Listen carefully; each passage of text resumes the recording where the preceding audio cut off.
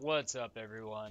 This is BigPowner and I'm here on my second day of my Lacer Assassin build. Um, this is going to be just some more gameplay, but it's also going to include um, some talking about my ideas and reasons for making this build.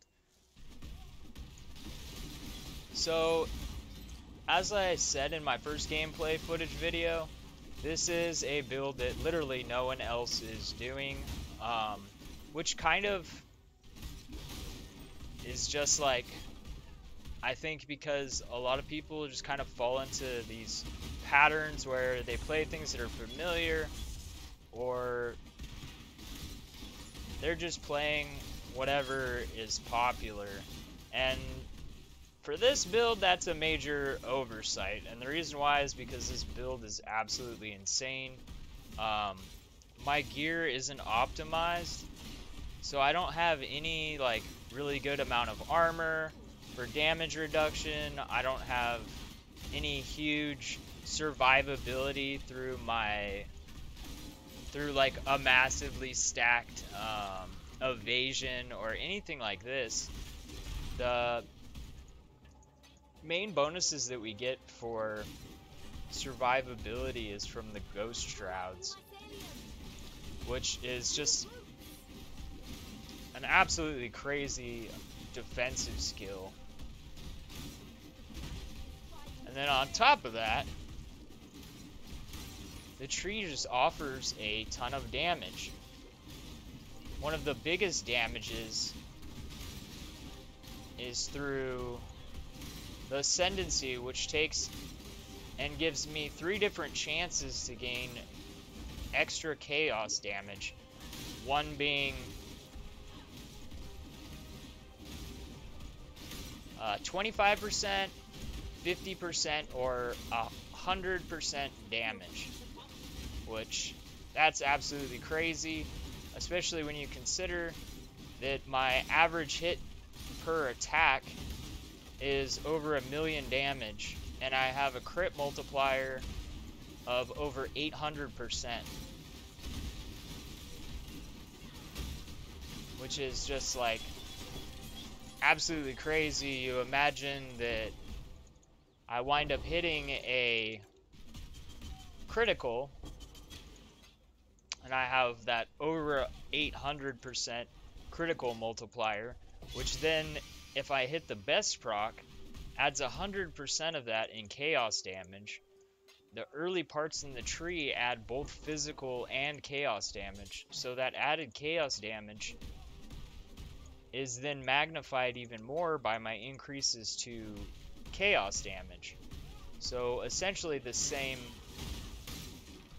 the same nodes are are double dipping on the damage so it's actually possible on my hits to do over 200% of my maximum critical damage, which is pretty crazy, especially when you consider my effective damage, the way the build is currently set up, is 17.4 million DPS, which that alone is absolutely crazy.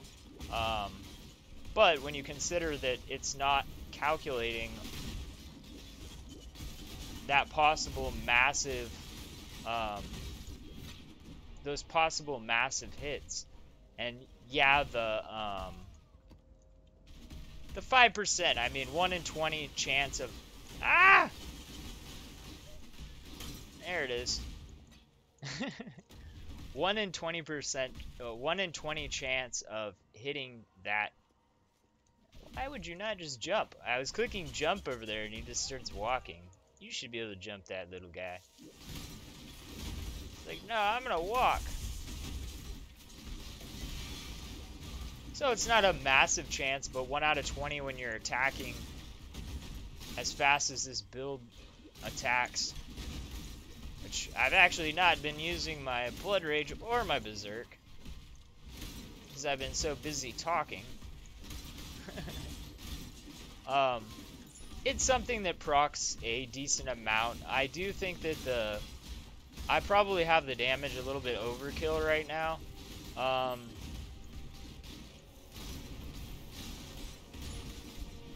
I could go for more defensive stats. For a realistic build for most people, you would probably want to cut out some of the damage and add more defensive stats. The thing is, is I'm level 100, and I'm really not dying. Um, I've got like 4100 HP.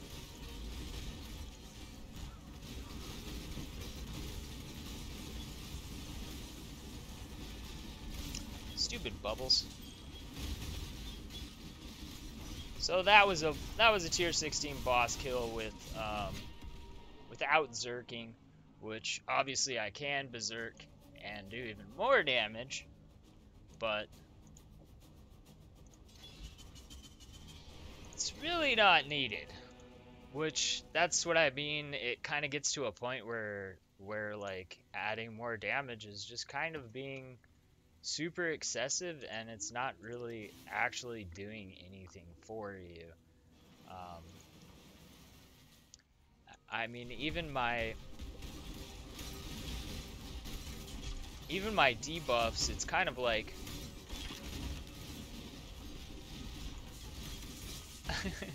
it's fun to be like, look at how much damage I have, but I don't know if it's exactly um, the, the best goal to be shooting for. It's kind of like my Frostblades Raider. Yeah, I, I did have the build set up where I was doing over 10 million DPS, but the build at 10 million DPS versus it at 6.5, as far as like the feeling for mapping, I don't really notice the difference in the damage very much because everything is pretty much getting one-shotted anyways. What I do notice the difference is by having more defensive stuff, the character isn't gonna die as easily. It, which, you know, that dying is something you definitely notice.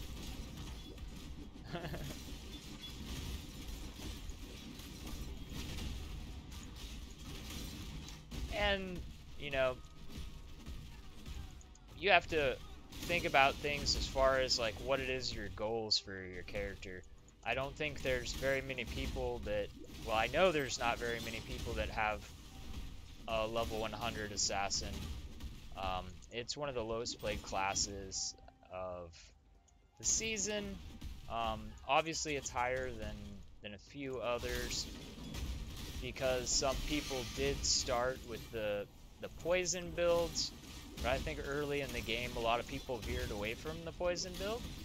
Um, and obviously the massive portion of the community was going for the necro builds, which I did a necro build and it's it's fun to mess around with, but honestly it's not something that I can play that much. I have a I have a really crazy Necro build, but I think I stopped playing it at like level 92. Um, I will do a video as far as like directions you can take the Necro. There's a ton of stuff that you can do with Necros.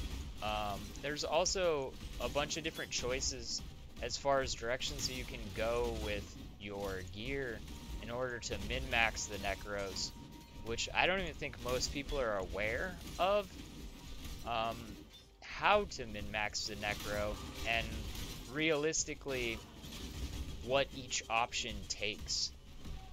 Like, for instance, um, one option with the Necro is to go for a level scaling, because the most damage on the Necro will come from um, increasing uh, upon the, the other above the other stats is increasing monster level. I don't even know why I'm doing placing towers. Bad habits, man. We don't need no towers. So, like, the direction I decided to go on my Necro was kind of the cheaper one, the cheaper of the two options, because one option to get the maximum possible number of specters is to either go for level 31 specter or to get extra specter and I believe level 20 25 or 26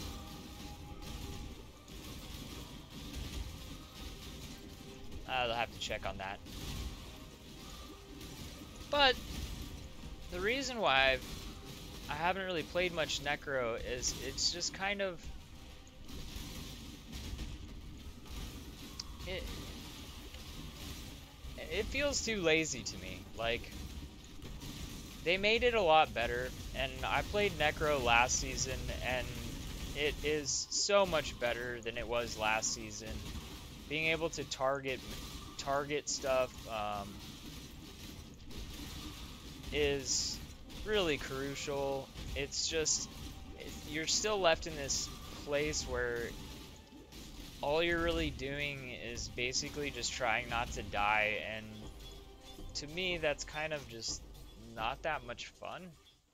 Um, everyone has their own play style preferences so I'm not dogging on other people's choices or favorite classes, but it's just not my favorite thing. I did enjoy it for a while. Enough to invest a lot of currency into the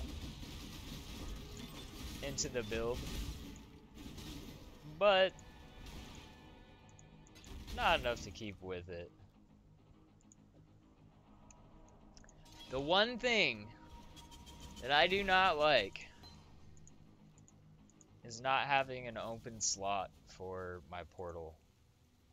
I know it's I know it's not a um it's not a huge inconvenience, but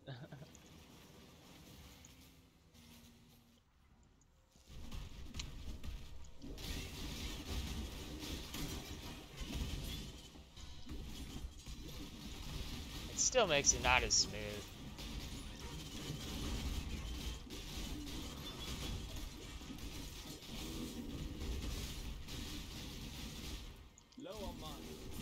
And that's my example of small stuff blocking damage and not making it as smooth. That little tiny rock was defending that.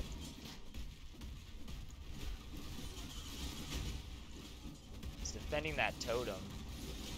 Obviously those dudes are annoying. Ow! I got all my Ghost Shrouds back up. The other cool thing about this build is free movement speed. And it doesn't just give us free movement speed, it also gives us restored mana, which is the reason why I can run such low mana and everything still procs which is absolutely amazing. And if we needed any other reason to take this node, it gives us 20% attack speed. Which, I mean, 20% attack speed by itself is absolutely huge. And when you throw all of that other utility on top of it, it's just such an insane path. Ow! I hate your bubbles.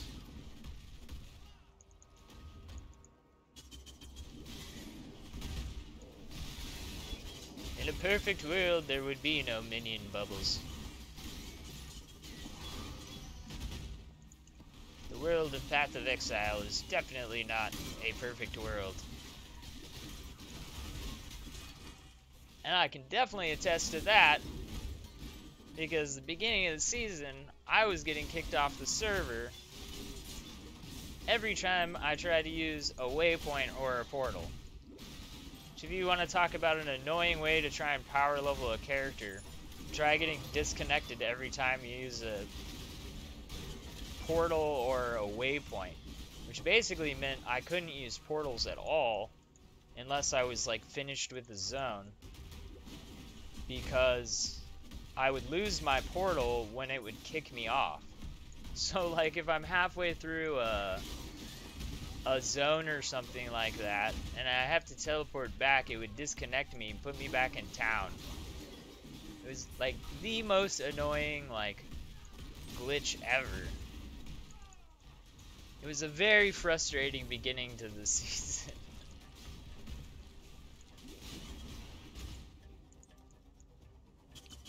I I really am a fan of of uh, the totems. My totems are not optimized yet. I do have the I do have the setup to make them four links in one of my weapons, but one of my weapons I have to replace, so I crafted it onto that weapon because I didn't want to spend currency upgrading a weapon that I didn't want to keep. It works for me, but it's still like a 420 DPS one-hander, so I mean, it's it's not a bad weapon, but it's not up to the big pwner standards.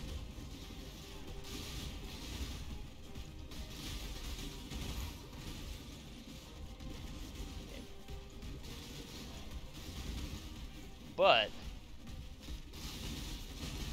I'm definitely happy with it right now because I have been making so many builds in such sweet um, so many builds in such a short amount of time that currency is really hard to keep up with. That is why I am basically just running maps to run maps.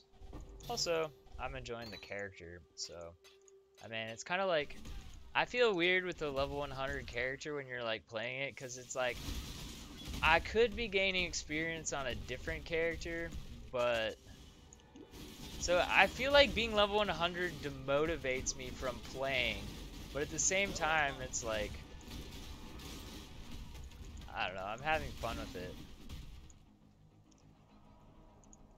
After I hit level 100, though, I like at first was like, I don't want to play this character anymore. And then I made the Necro, which was like a huge change up from what I had been doing. And then I did um, the Frostblades Raider, which I had so much fun with.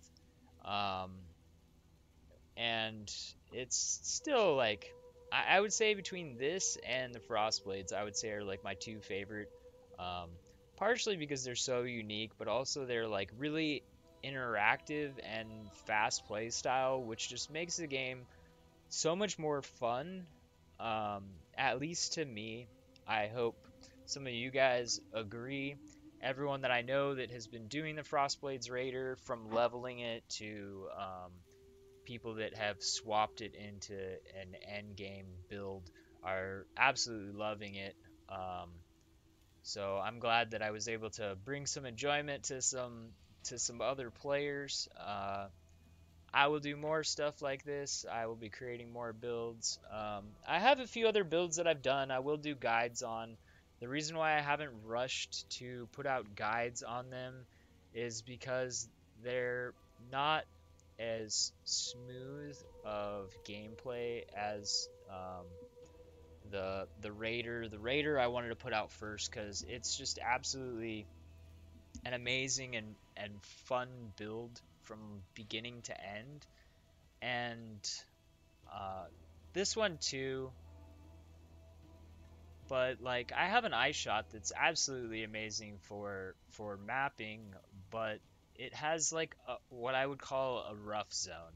And the rough zone is when you're like a certain level, it, it's just really um, it's just really difficult if you don't have like really good gear. Um, like I I got frustrated a little bit. Obviously, my, when I first started playing it, it wasn't completely optimized. Um, so I POB'd the tree, so I guess it just traumatized me a little bit. Um, it was my it was my first character after the Frostblades Raider, so my expectations were really high, but I want to give you guys realistic um, portrayals of the stuff that I'm offering the thing that frustrates me the most uh, in games like this is when people misrepresent builds to players, like saying, "Oh, this build is is so easy to make and so cheap," yet the build doesn't work without a helm enchantment, or you know, it has to be like a high level before it even works, or you have to have some specific item that's a rare drop with specific mods. Like that's that's not fun. If you don't aren't realistic with players, someone can jump into a build and invest the currency that they have, and the build's not playable for them, which that's not fun for anyone. To invest a bunch into a build and you know not even be able to to efficiently play or have fun I think it's fine to put up builds that are are expensive builds, um, but to represent them as they actually are, I think is the most important thing. Like like this build as it is right now, it's super expensive, obviously, and it's obviously a, a level 100 tree. So if I were to just be like, oh, look at this build, get this gear, and and not explain to you that you know, the the tree's not going to be the same. Um, a lot of the gear is extremely hard to get or expensive. Um, that could lead to a lot of people not having very much fun and being pissed off at me. And I want to be the reason why you guys have more fun, not why you have frustrations or get pissed off anyways, uh, thanks for watching. I will upload some more content soon. I have a lot of free time right now, so I will try to get up all of my build guides and stuff like that for, so you guys have some content and some different builds and directions you guys can go. I do want to give out some options. Uh, I know the Necro build is really popular. It's kind of it's kind of late um, in in the season this is kind of like my warm-up season for creating content and videos like this. I'm obviously new to creating guides for this game, um, creating content for this game. I'm also new to doing um, YouTube. I've had a YouTube account for a long time, but I've really only uploaded um, stuff off of a phone when I from when I used to play Pokemon which was basically just like camera record and upload. So this is definitely a new domain for me, but I will continue to try to produce better stuff for you guys. Thanks for watching.